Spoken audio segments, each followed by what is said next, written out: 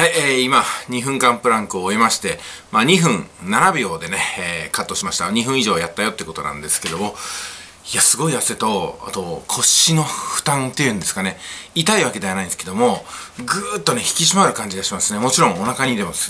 来てるんですけども、刺激は全身にあります。だいたいね、1分10秒超えたあたりから、もう1秒がね、すっごく長くなるんですよね。で私ずっと目をつぶりながら、あの、曲を聴きながらね、お気に入りの曲を。だいたい1番のサビの途中で限界が来るんですよ。で、サビを聴き終わって、2番に入る前のイントロでね、えー、早く終わってくれって感じで、パッとタイマーを見ると、大体ですね、あと十数秒残ってるんですよ。この十数秒が長いなと 思いまして、えー、まあ、それでもね、なんとかこう、工夫しながら、根性つけていけるかなと思っております。今日もなんとかクリアでした。それでは動画の方をどうぞ。はい、えー、おはようございます。今日もですね、えー、ガチンコマッチョクラブの派生したメタボ47のフランクをね、やっていこうかと思います。これからやりますからね、これからやる前にちょっとね、お話をしたいと思うんですよ。あの、やっぱり報道の力って大きいなと思うんですよね。例えば最近でしたら、東京都知事選ですよね。これ毎日毎日テレビに出てるのは、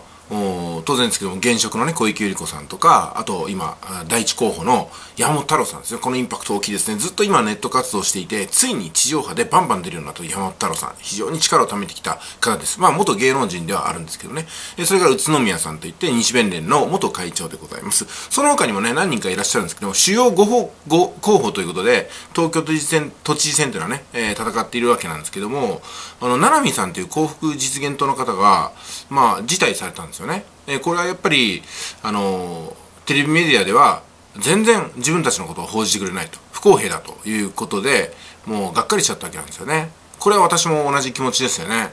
確かにね20名以上の候補が出てるのに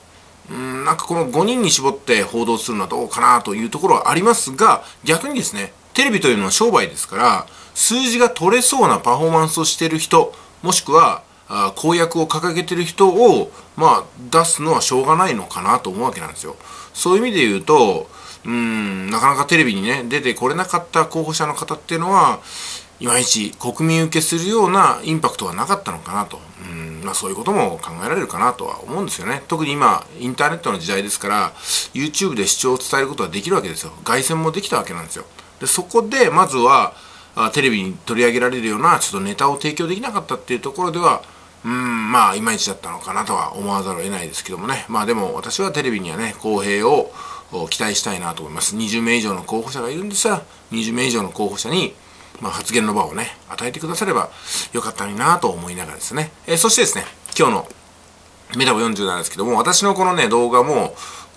まあ、何人かの方には見ていただいて、それぞれの評価をいただいてるんですけども、まあ、あの、見ていただいてるということに、関して、私はエネルギーが出てね、やめられないなって気持ちになってきます。うん、だからそういうふうな効果もありますんで、皆さんもね、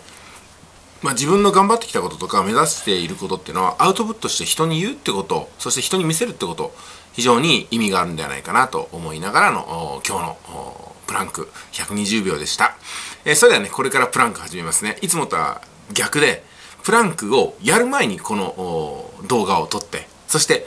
プランク今これからねちょっと自信がないですね今日はね。頑張っていきましょうかね。では失礼します。